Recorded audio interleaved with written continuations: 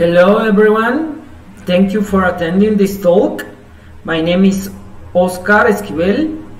I'm Associated Professor and Researcher in Applied Mathematics and System Institute in National University of Mexico. The title of this talk is Parallel Implementation of Monte Carlo Markov Chain Algorithm. The second author of this work is my colleague Oscar Alvarado Moran. Let's get started. Table of contents. First, the background. I will show a brief background of Monte Carlo methods. Monte Carlo methods. I will present some concepts around Monte Carlo and Markov chain parallel algorithm. Here I'm going to present some basic basics ideas about of Monte Carlo parallel algorithm experiments. Some result will be present in this section. Finally, some conclusions. The background is a well-known problem obtain the solution of a system of linear equations. Some strategies to solve this kind of problems are iterative solvers, which compute the solution but sometimes are not totally efficient. Monte Carlo method is a probabilistic method for computing approximated solution. It requires less calculation than iterative solvers.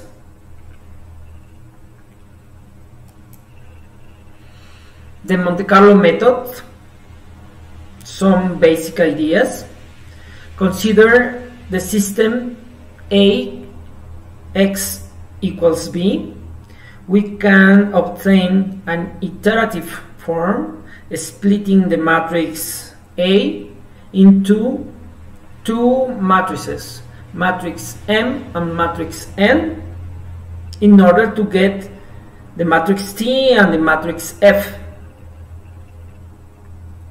in other hand, one sequence of a state with probability p of transition let us obtain an unbiased estimator x based on the transition weights. It's worth to note the ratio of elements of T over elements of the matrix P.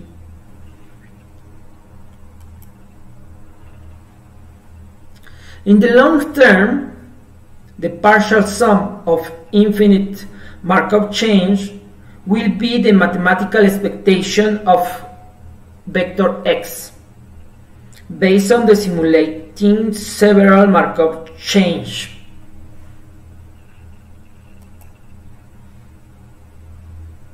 Different kinds of errors help us to obtain the accuracy of the method based on the number of the Markov chains involved in the simulation.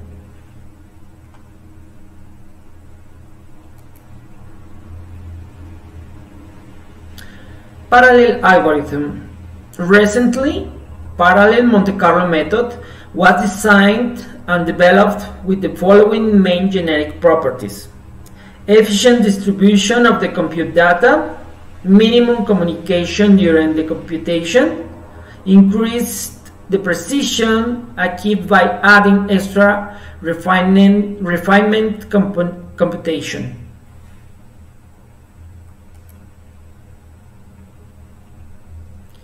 The goal of the parallel strategy is to create a Markov chain per thread and increase the number of the threads based on the number of Markov chains.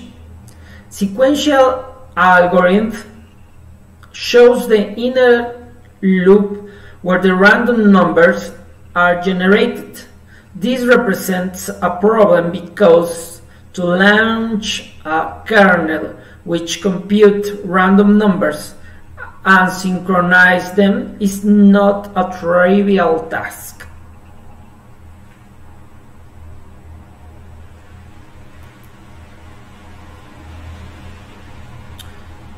Experiments. In order to study the performance of parallel Monte Carlo method, we solve a partial differential equation which involves some quantities as density, time, heat, temperature, thermal conductivity.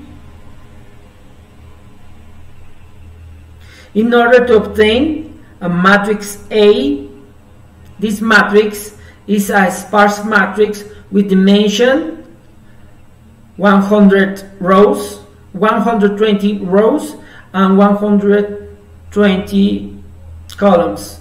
And a vector B is a column vector of size 120.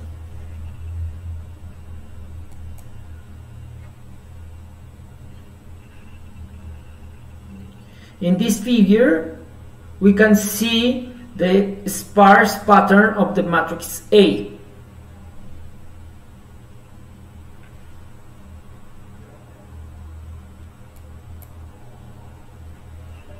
This table shows the compute times of the both implementations. Sequential time is and uh, parallel time was computed using different values of the parameters epsilon and delta. The capital N is the number of Markov chains built each iteration.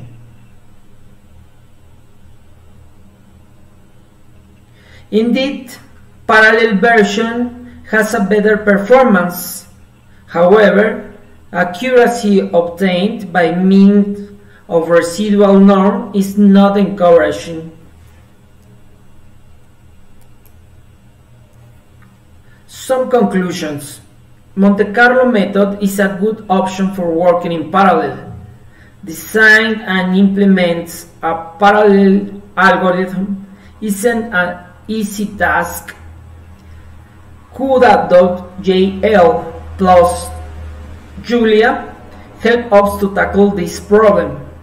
Some problems about computation of random numbers into kernel become in loss of accuracy. Some final remarks. I would like to thanks to Tim Besard and all generous and very very clever people who work hard to translate CUDA into Julia. I would to thanks to to all Julia language team and friends for creating this cute, attractive and powerful programming language and safe JuliaCon 2020. The reference used in this work are here. A great, great work of Fatih Baraha about Monte Carlo method. is a great reference of Monte Carlo Markov chain method. as the work of Tim Besard and Anton Levet and Vassil Alexandrov using the Monte Carlo method for build some strategies of, of preconditioners and finally I would like to thanks for doing this great, great congress. My name is Oscar. I'm working in National University of Mexico. Thank you for your attention.